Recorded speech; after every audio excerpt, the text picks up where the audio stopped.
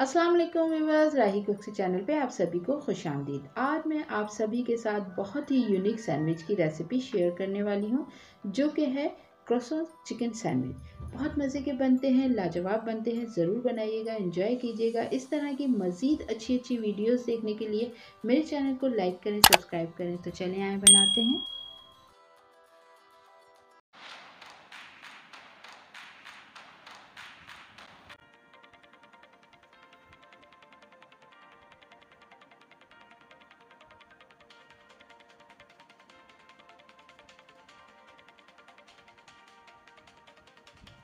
Chicken sandwich बनाने के लिए यहाँ पर मैंने ब्रेस्ट पीस का इस्तेमाल किया है। यहाँ पर जो है हम इसके छोटे छोटे से क्यूब्स बना लेंगे।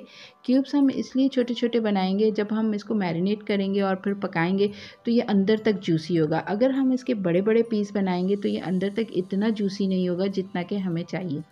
ठीक है, वरना ड्राई ड्राई होगा। और बिल्कुल सैंडविच मज़ा नहीं देगा क्योंकि एक तो ऑलरेडी बन भी ड्राई होते हैं। फिर ऊपर से हमारी चिकन भी ड्राई होते हैं बिल्कुल मज़ा नहीं देते। साइज़ देख लें बिल्कुल परफेक्ट साइज़ है। इसी तरह से हमने छोटे छोटे से कट करने हैं सारी चिकन को। और छोटी बोटियाँ बनाने का फ़ायदा ये होगा कि ये बहुत जल्दी भी गल जाएँगी। आप बच्चों को लंच बॉक्स में भी ये बना के दे सकते हैं।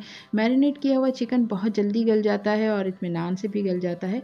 और बच्चों को बहुत पसंद आएगा ना? तो बच्चे हमेशा डिफरेंट डिफरेंट चीज़ें खाना पसंद करते हैं तो इसी तरह से बातों बातों में हमारी सारी की सारी चिकन भी कट गई और साइज़ देखें, बिल्कुल परफेक्ट है। इसी साइज़ की सारी की सारी बोटियाँ हमने कट करनी है, ठीक है?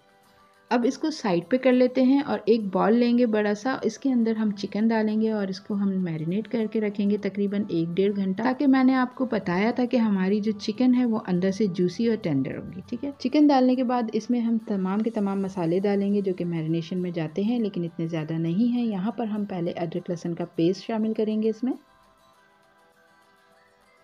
नमक टेस्ट के हिसाब से मैंने तकरीबन एक चम्मच डाला है। कुटी हुई लाल मिर्च, आधा चम्मच, वो भी आप टेस्ट के हिसाब से डाल सकते हैं। पेपरिका पाउडर तकरीबन एक चम्मच के करीब है, ये कलर देगा, ज़्यादा तेज़ नहीं करेगा। काली मिर्च, आधा चम्मच डालेंगे। अच्छा ये सिरका है, तकरीबन एक चम्मच के करीब इसमें शामिल करेंगे।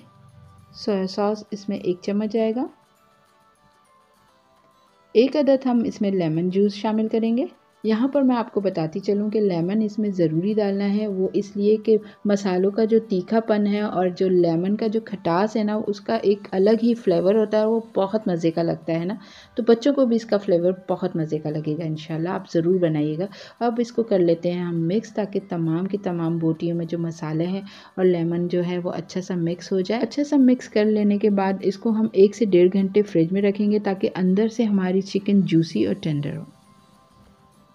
अब हमने क्या करना है कि चिकन हमारी माशाल्लाह से ज़बरदस्त सी मैरिनेट हो चुकी है। यहाँ पर हम उसको पकाने की तैयारी करते हैं। इसमें मैंने दो चम्मच के करीब ऑयल शामिल किया है और जो कि चिकन हमने अभी रखी हुई थी अपने मैरिनेट करके वो इसमें शामिल करेंगे और थोड़ा सा इसको भूनेंगे।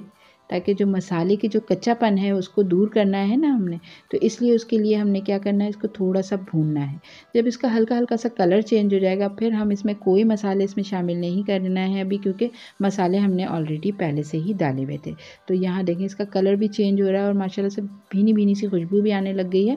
बस थोड़ा सा इसमें हम पानी शामिल करेंगे, वो इसलिए कि थोड़ी सी चिकन को और गलाना है हमें तो उसके लिए हमने तकरीबन आधा कप के ही जितना पानी शामिल करना है, बहुत ज़्यादा पानी नहीं शामिल करना है वरना इतनी सी तो बोटियाँ हैं, वो भी टूटने लग जाएगी। यहाँ पर हम धीमी आँच पर इसको छोड़ देंगे। धीमी आँच पर जो है, हमें पकाए हुए इसको 10 मिनट हो चुके हैं और माशाल्लाह माशाल्लाह से ज़बरदस्त सी खुशबू आ रही है। पानी भी खुश्क हो गया है ज़बरदस्त सी गल चुकी है ये चिकन। अब इसमें कोई कसर नहीं है, ठीक है? यहाँ पर हम इसमें शामिल कर लेंगे ये एक अदद शिमला मिर्च, उसको मैंने बारीक बारीक कट कर लिया है, बस इसको पकाना नहीं है हल्के हल्के से सौटे करेंगे। शिमला मिर्च को सौटे करने का मकसद सिर्फ़ यही है कि ये थोड़ी सी जो कचर कचर करती है ना तो उससे बच्चे जो है ना, इसे निकाल बाहर फेंकते हैं तो इसलिए इसको थोड़ा सा हम सॉफ्ट करेंगे, पाँच मिनट पकाएँगे। तो यहाँ पाँच मिनट हो चुके हैं और देखें शिमला मिर्च कितनी सॉफ्ट हो गई है। तो बस अब ये बच्चे जो है ना, इसको फेंकेंगे नहीं, आराम से खा लेंगे। तो यहाँ पर जो है, अब हम इसमें क्या शामिल करेंगे? दो चम्मच के करीब यहाँ पर मेरे पास मायोनीस है, वो शामिल करेंगे। मायोनीस डालने के बाद मैंने इसमें शामिल कर दिया है दो से तीन चम्मच मोजरेला चीज़। मैंने इसमें मोजरेला चीज़ डाला है, आपके पास ऑप्शनल है, आप डालें, नहीं तो स्किप कर सकते हैं, ठीक है?